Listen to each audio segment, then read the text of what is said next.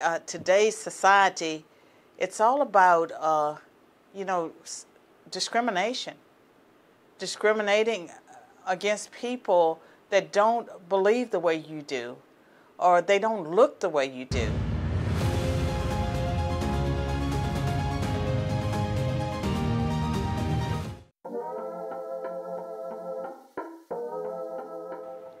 You know, we're living in really interesting times, and part of it is that none of the rules that I would say people like me grew up believing, everything is up for grabs. Things have been thrown out.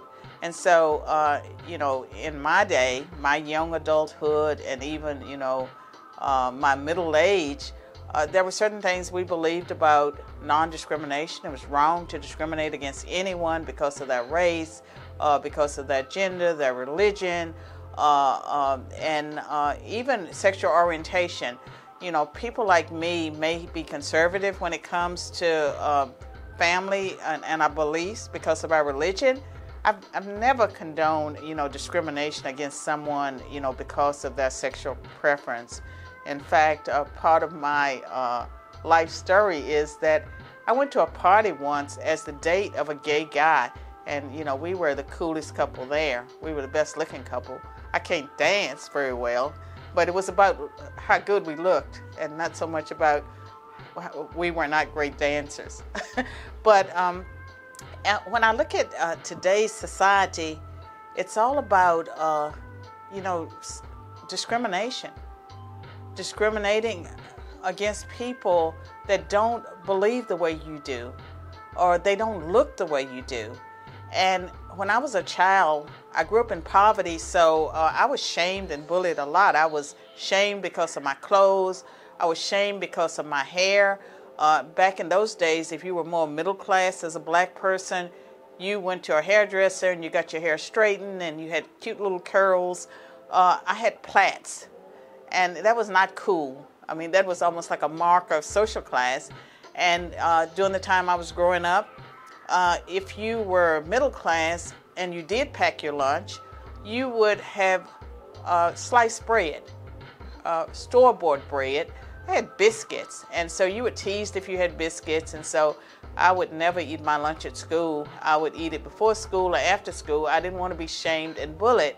Now it's okay to shame and bully people because they don't think the way you do, they don't look the way you do, uh, that seems to be acceptable uh, to do, you know, to white children, to send their children home crying about things that their ancestors allegedly did.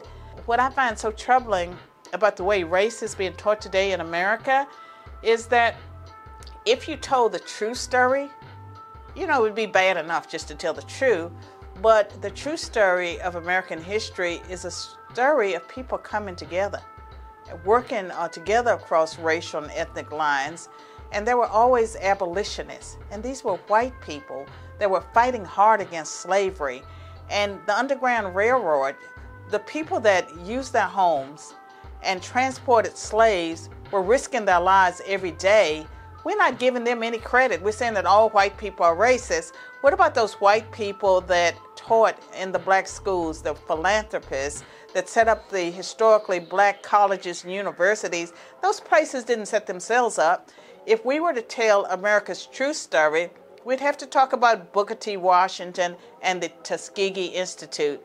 We'd have to talk about uh, Phillis Wheatley. We'd have to talk about, uh, I mean, just the fact that she was a brilliant poet uh, and that black people produce brilliant poets coming out, out of slavery.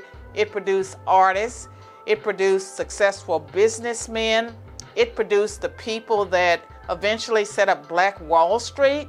Uh, those people didn't get government loans. There was no affirmative action around. They did it themselves. Tell the true story of America.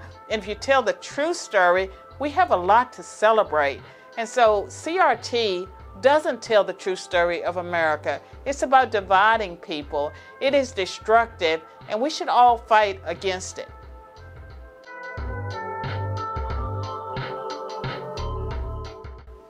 you know, what's taking place uh, at this moment in the discussion is the argument that CRT is not being taught in public schools.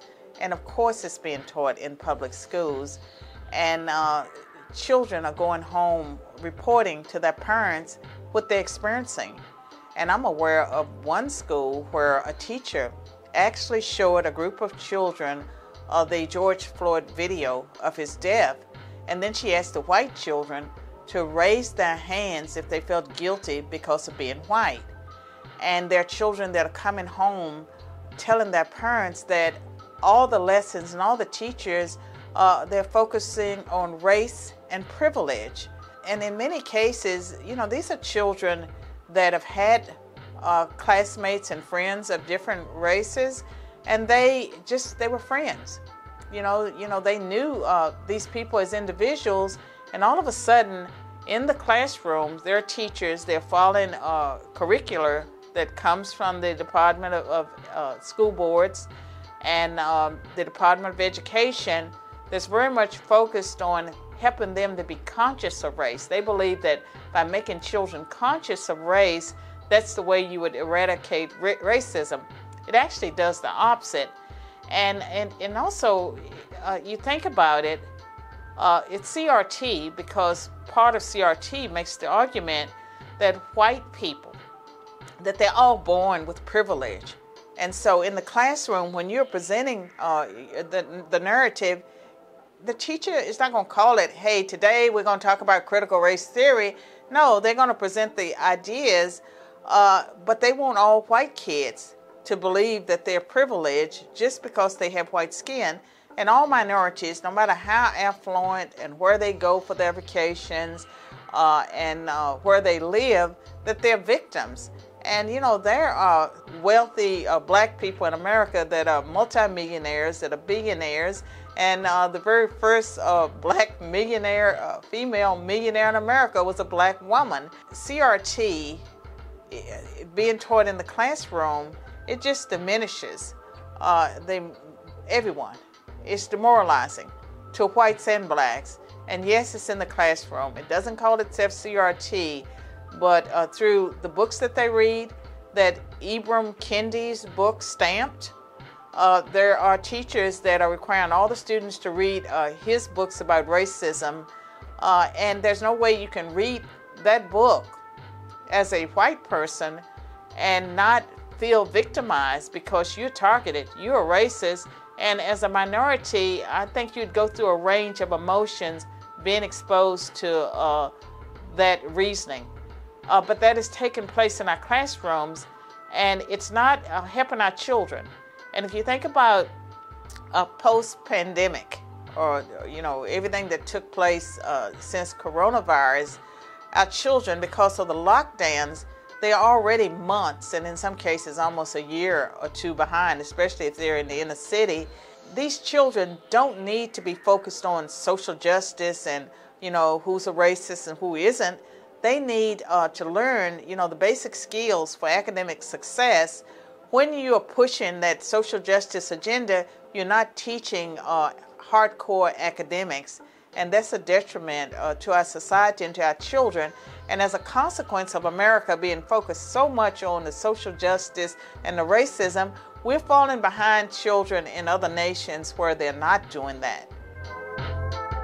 If you want to know more about critical race theory, it has consumed my life for the last couple of years, but last summer, uh, 2021, I uh, published a co authored book. I'm going to hold it up Black Eye for America How Critical Race Theory is Burning Down the House. It explains what critical race theory is, where it came from, how it manifests itself in our society, why it's anti Christian, anti civil rights, anti constitution, and it also has um, two chapters on how to fight back against it and you will want to fight back against it. Regardless of your race or ethnicity, CRT is destructive, it's divisive, it will not bring about racial reconciliation, it's demeaning to minorities as well as whites.